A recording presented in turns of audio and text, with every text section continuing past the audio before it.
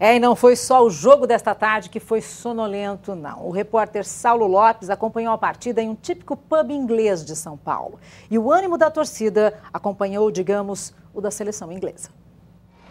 Estação da Luz, centro de São Paulo. Um pouquinho da Inglaterra no coração da capital paulista. Aqui neste pub em Pinheiros, na zona oeste da cidade, esse grupo de torcedores se reuniu para torcer pelo English Team.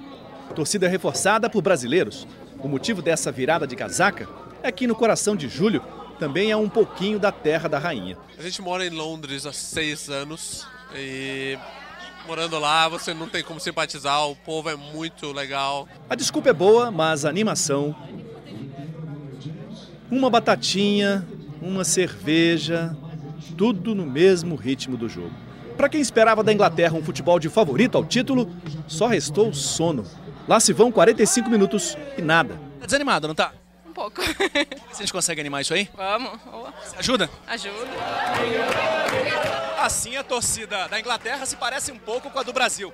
Mas aí eles ainda têm o segundo tempo para tentar vencer a Argélia. David, um dos dois ingleses presentes, delirava. Estamos esperando para 5 a 0, mas talvez estamos um pouco otimistas ainda. 5 a 0? É, eu acho que é o primeiro do Wayne Rooney entrando e os outros quatro vai rapidamente em seguida. Sim, sim, sim, vai ser fácil. Segundo tempo. Melhor mostrarmos como os ingleses são craques na construção de estações de trem, casas. Nossa, são demais. Porque em campo, nem o gigante Peter Crouch, como gosta de dizer o narrador Galvão Bueno, deu jeito na monotonia. Fim de jogo, David.